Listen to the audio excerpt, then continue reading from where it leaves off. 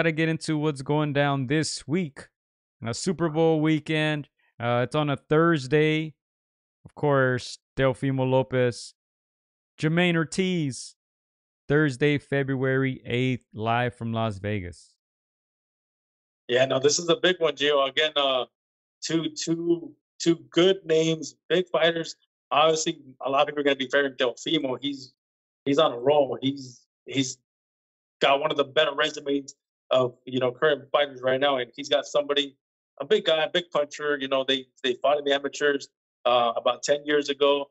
Um, so of course, you know that Jamaine is gonna want to you know usurp Teofimo Lopez, take that spotlight, take take everything that Teofimo has built. So it's a big fight, man. It's a big fight.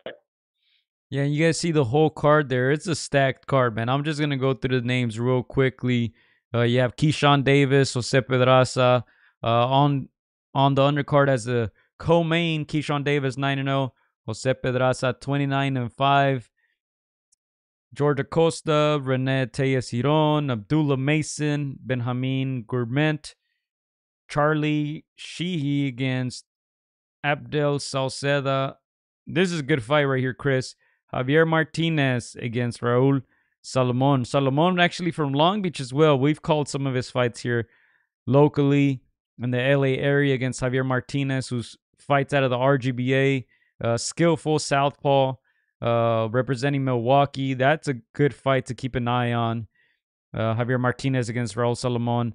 Our guy Alan Garcia, 10 and 0, undefeated. We had him on the podcast a couple shows ago. Uh, he's going up against Tomas Ornelas, who's 7 and 3. You know, so our guy Alan getting some action there. Antonio Cepeda against Lemire Isom Riley, Art Barrera against Michael Portales. Yeah, no, like you said, Joe, it's a stack card, man. You got, you know, everything from champions, title holders to up and comers to you know future stars of, of boxing. So that's it's, it's a great card, man. Whoever can make it out there, and you know, if I was out there, I'd get there from 3 p.m. and, and I would catch every single one of these fights. But uh, yeah, man, our, our boy Alan is fighting again. He, like you said, Joe, he's you know 10 fights in. He's looking at guys like Teofimo. He's looking at guys like Jamaine. He's like, I want to be there one day. So you know, those guys were once in his shoes. They were once, you know, also at the bottom of undercard. So it's it's it's a great card overall, stack card, and uh, yeah, man, it's a good good main event, and it's loaded with nice nice uh, appetizers there. You don't always get that, you know. You know, sometimes you get just the two the two names in the main event, and everything else is just fluff. So now with this card, you know, it's a it's a very admirable card and gonna be a great a great event. Shout out to the Bob Father. But you know what, Chris? You know what name I don't see on here anymore is uh, Emiliano Vargas. it seems like he may not be fighting after all. Emiliano, the son of Fernando Vargas, of course, the most talented one out of the three. Uh, signed to top rank. He's been on a lot of the big undercards. Uh, but yeah, it seems like his name uh, was scratched from this card, at least according to BoxRec. Yeah, that's uh, it's a little disappointing. Uh, maybe a minor injury, we don't know. But uh, yeah, usually those that's the name that's attached to to top rank, and of course, the ball father is always gonna want to have you know you know general there close. You know, he puts in seats. Obviously, he's got the name behind him. Um, so that's unfortunate, but it's still a very good card. And yeah, man, I can't wait to, to watch this fight. Uh, Gio, I got to ask you, man, have you been seeing what's been going on behind the scenes? Are you excited for this main event? What are your thoughts?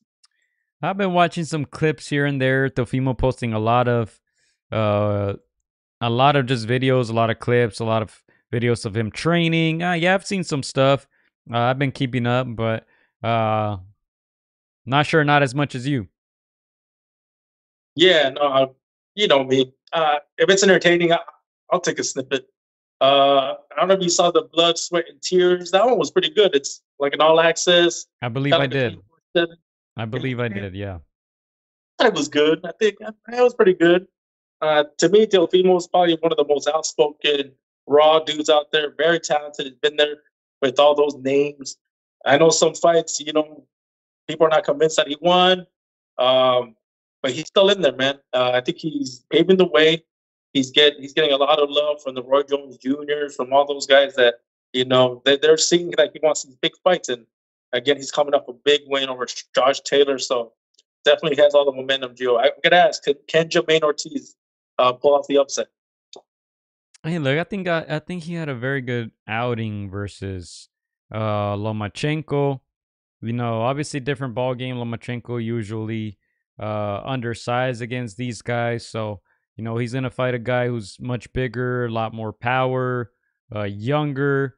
You know, you if you if you take a look here at his his record, you know he had that win against Herring by unanimous decision. Uh, he lost to Lomachenko. A lot of people thought it was close. You guys see the scorecards there. 1, 112, 116, 111, 117, and 113, 115. Uh, then he won a decision against Moran. You know, I think what's going to hurt Jamaine Ortiz is here.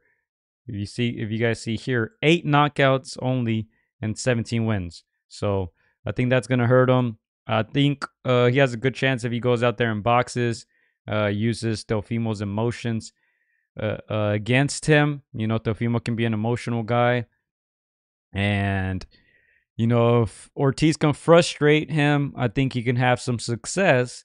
With that being said, I don't really see it happening. I know some people are giving him a chance. Uh, good, good segue into this poll here. Uh, question was who you who wins this Thursday? 565 votes. Teofimo Lopez 84%. Jamaine Ortiz only 16. Damn. Yeah, those are overwhelming odds. Of course, more people know Teofimo, more people know what he's done, the names he's been in there with. They obviously have a common opponent. On paper, Teofimo won that fight where Jamaine Ortiz lost to, uh, and like you said, an undersized Vasily Lomachenko. Uh, dude, I want to say, I'll just throw it out there. I don't want to spend too much time on Loma, but he's had his way with with with Vasily. Uh, he's had his way with Dale, with Devin Haney, and with Jamaine in that eighth, ninth round. That's where you know most some, some of the fighters get tired. But uh, yeah, that's the, that's the common opponent. Um, and I'm gonna have to side with with uh, people that think if Teofimo wins this one. I I have it right now 70-30. I want to give mm. some some respect to Jamaine. Okay. He is a good fighter. You know, he's a big dude, stocky dude. Uh, he can upset, but it's I see it as a tall ask. 70-30 for Teofimo myself. All right, I'm going more 75-25. You know, we'll see what Teofimo we, we get. But look, Teofimo hasn't hasn't looked bad recently. I mean, he had that big win against uh, Taylor, of course. Here, let's, let's take a look at his resume 19 and 1, 13 knockouts. He's 26. Jamaine, what, 27, I believe? Um, but yeah, let's take a look at this right here. So, uh, Josh Taylor, that was in June of 2023. He hasn't been too inactive. You know, he claimed to retire, but, you know, he got a decision over Josh Taylor, who was a kingpin at 140 pounds, undefeated, 19 0 coming into that fight. Uh, Sandor Martin maybe didn't look so good. That fight was in 20 at the end of 2022. Same with the fight against Pedro Campa. Uh, before that, of course, he had that loss to Kambosos in 2021, and that's when they were talking about the health issues or whatnot. Um, yeah. And then 2020 was, of course, that win against Lomachenko.